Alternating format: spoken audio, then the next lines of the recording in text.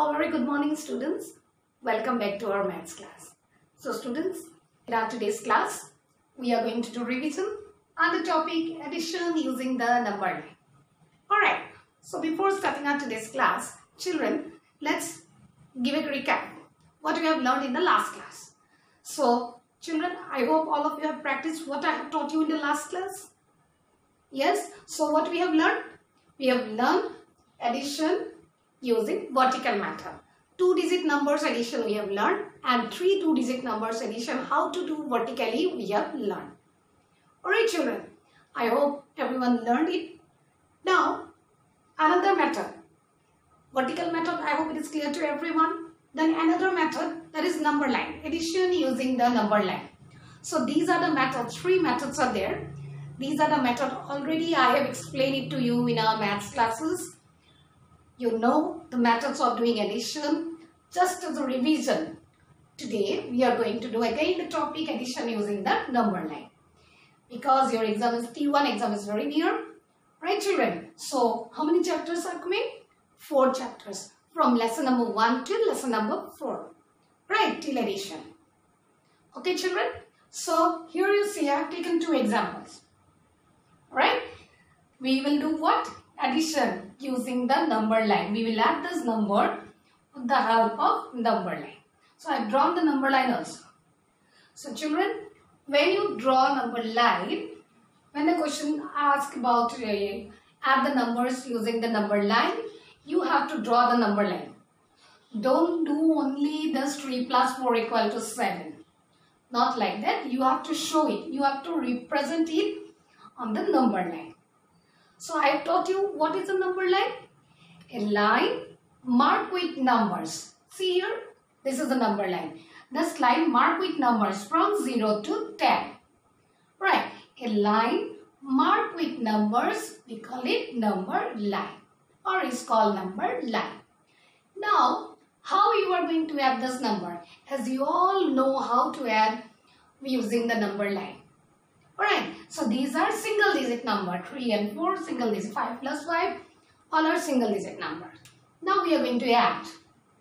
Okay, so tell me children how you are going to add this, how you will show the number line this, how you are going to find out the sum of this with the help of number line. So children what you have to do? You have to draw the arrows. Okay, now what is the number 3 plus 4? Show it on the number line. So let's start from which number? From 0 to first number. What is that? 3.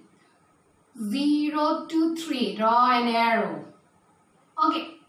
Now second number is what? 3 plus 4. Now how many steps we have to move forward to get the sum? So 0 to 3. How many steps we are, we are going to move forward? 4 steps.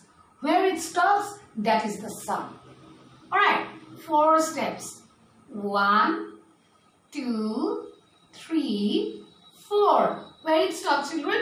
Seven. Yes or no? So circle it. Mark it seven. So what is the answer? So 3 plus 4. 3 plus 4 equal to 7. We got it on the number line. Clear children?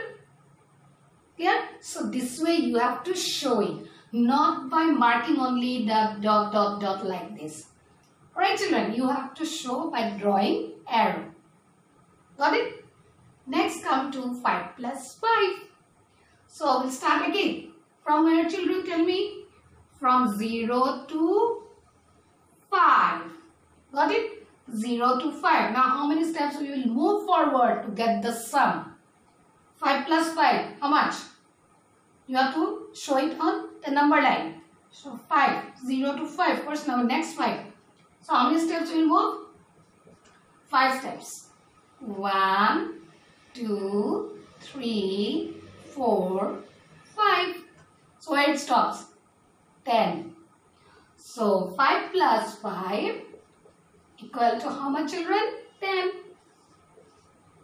Got it? Clear? So how you are going to show children? Yes, tell me the numbers by drawing the arrow. Alright. 0 to 3 then 4 steps move forward you will get the sum. Where it stops that is the sum. I hope it is clear children. Your revision class I am doing again as I have already taught you. Don't do mistake okay children. Don't only mark it. If I ask, if question asks show 2 plus 2 on the number line. Don't only mark 2 and 4 like this. Only mark. No. You have to draw the arrow to show the numbers along with the sum. Sum and along with the numbers. Okay children. So next we are going to take another example. I hope this too clear. So children now number C. So C is what? 6 plus 5. Now you have to show it. What is what is the sum of 6 plus 5 on the number line. So children see here. This number line I have drawn till 50. Alright. Because why? Once you add 6 plus 5, what is the sum? You will get it. See here. So from where we will start? From 0 to 6. Now how many steps we will move forward to get the sum? Tell me children. 5 steps. Very good. One, two, three, four, five. Where it stops? Yes, it stops at 11. Okay, so the answer is what? 6 plus 5 equal to 11. So 6 plus 5, 5 answer is what? 11. When you add 6 with 5, so you get the answer what? 11. So see here, the number, number on the number line, we get the sum 11. Clear children? So now next is 7 plus 4.